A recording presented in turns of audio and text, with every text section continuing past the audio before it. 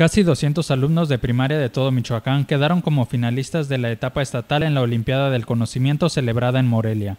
Dos representantes de estos niños y jóvenes hablaron orgullosos de ser parte de esta Olimpiada académica. Estoy feliz por darle a mis padres la satisfacción de haber sido electo por todos por todo ese apoyo incondicional, cariño, esfuerzo, inculcándome valores para ser un buen estudiante Gracias a mi maestra de hoy, con responsabilidad, paciencia y tolerancia, para manifestarles el nombre de mis compañeros, alumnos y presentes.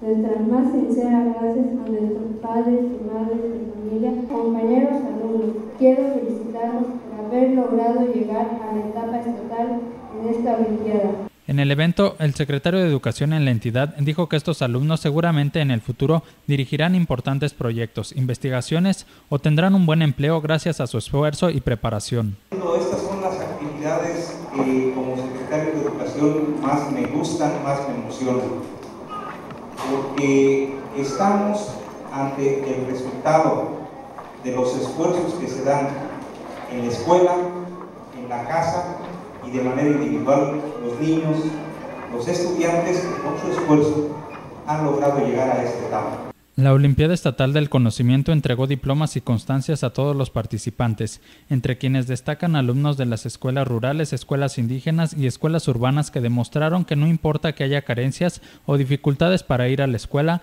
pero se puede aprovechar y adquirir conocimiento que será de utilidad para lograr una profesión. Con información de Amanda Bautista informa Cuasar TV.